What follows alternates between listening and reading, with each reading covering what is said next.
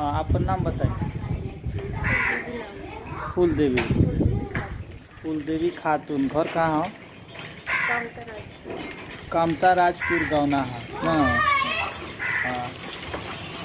का परेशानी बा? बा मतलब जल गई बा ये नहीं तेजाब से? हाँ। ठीक। देखिए दोस्तों सोशल मीडिया पर इन दिनों आयांश को लेकर लोग इतनी हमदर्दी दिखा रहे हैं। सही है। लेकिन आयांश के अलावे जितने भी जो कम पैसों के अभाव में लोग इलाज से वंचित हो जाते हैं और कई सालों से अपने दर्द को झेल रहे हैं, उन लोगों को भी मदद करनी चाहिए आप लोगों को। ये मेरे पास आई थी और इनका दर्द मैंने जब जाना तो बहुत ही, क्या कहूँ अब, कोई शब्द नहीं मिलता है। इनके पति ने इनको एसिड से मारने की कोशिश की। इन्होंने अपना जान बचाकर जब भागा तो इनके चेहरे पर ना एसिड लग के पूरे बदन पे लग गया। और जिसको लेकर के एक दाहिना हाथ जो है इनका, वो पूरी तरह से जल गया। और मतलब कि इस समय उस हाथ में इतना दर्द है और घाव जैसे हो गया है कि ये दर्द से मतलब साल भर से ये हैं।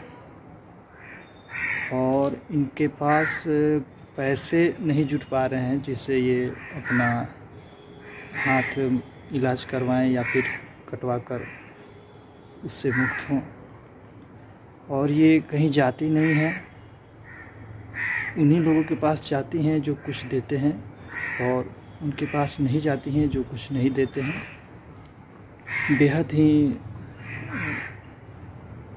मुश्किल दौर से गुजर रही हैं ये। तो मैं चाहूँगा कि आप लोग इनका मदद करें और मेरे मेरे जानने पहचानने वालों में जो भी डॉक्टर्स हैं, जो ऐसा लगता है कि इस केस को वो कर सकते हैं। तो प्लीज़ इनका मदद करें और इनके हाथ के दर्द से इनको निजात दिलाएँ। बहुत बहुत मेहरबानी होगी और इंसानियत को लेकर के ये करना एक इंसानियत की मिसाल पेश करेगा। तो इसलिए मैं आप लोग को बता रहा हूँ कि अब इसमें क्या खर्च आएगा मुझे मालूम नहीं है क्योंकि जो भी डॉक्टर्स जो देखेंगे, उसको बताएँगे तो डॉक्टर्स ही जानते हैं, लेकिन ज़्यादा का खर्च नहीं है। हमको लगता है बीस, तीस हज़ार के करीब में इनका हो जाएगा। ये मेरे दरवाजे पर आई थी। इनको मैंने खाना खिलाया। जो मेरे तरफ़ से हुआ, वो मैंने आज इनको दिया। लेकिन मेरा ये विश्वास है और मेरा ये वादा है कि मैं इनके हाथों का इलाज करवाऊँगा। मेरे माध्यम से अगर हो जाता है तो वो भी बहुत अच्छी बात है। और मैं चाहता हूँ कि जो भी मतलब डॉक्टर्स चाहते हैं या फिर सामाजिक कार्य करते हैं, वो कृपया इन, इनका इलाज करवा दें। मैंने इन, मैंने इनको अपना मोबाइल नंबर दिया है, पर्ची पे लिख के मोबाइल नंबर दिया है।